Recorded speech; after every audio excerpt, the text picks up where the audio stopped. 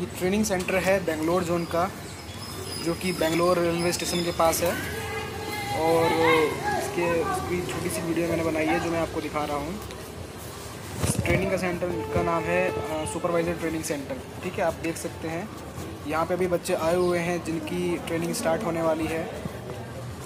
तो 16 तारीख से ट्रेनिंग का प्रोसीजर स्टार्ट होने वाला था। बहुत सारे बच्चे 16 तारीख को भी आए थे, कुछ को ट्रांसफ़र कर दिया है दूसरे ट्रेनिंग सेंटर में और कुछ को यहीं रोक लिया गया है। तो ट्रेनिंग सेंटर है, यहाँ पर भी बच्चे आए हुए हैं, जो कि जिनकी ट्रेनिंग स्टार्ट होने वाली है, या तो यहाँ पर होगी या फिर कहीं किसी दूसरे ट्रेनिंग सेंटर में होगी, वो उनको बता दिया जाएगा।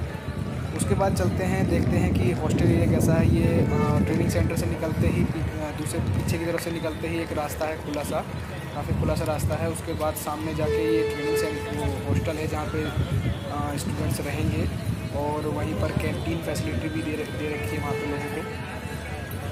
तो जो ट्रेनिंग सेंटर है वो बहुत ही अच्छा है अंदर से।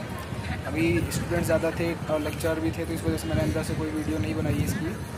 और यहाँ पे ट्रेनिंग ऑलरेडी चल रही है जो loco pilots assistant loco pilot से जिनकी आगे प्रमोशन होता है शंटर से प्रमोशन होता है loco pilot loco pilot goods में तो एक ट्रेनिंग होती है।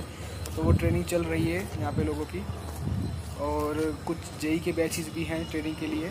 तो यहाँ पे जितने भी रूम्स हैं वो ऑलमोस्ट ऑक्यूपाइड हैं। और ये है कैंटीन कैंटीन कह लो या मेस कह लो बहुत ही स्पेशियस साफ़ सुथरी और बहुत ही अच्छी कैंटीन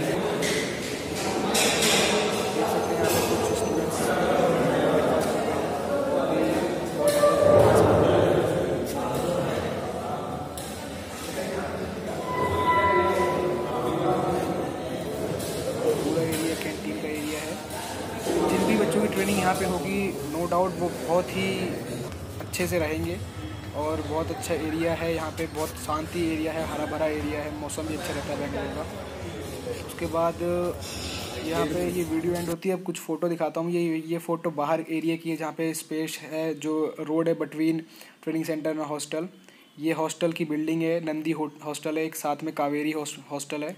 ठीक है? अंदर से नहीं दिखा पाया क्योंकि वो ऑक्यूपाइड थे रूम कभी कोशिश करूँगा दूसरे में दिखाने के लिए।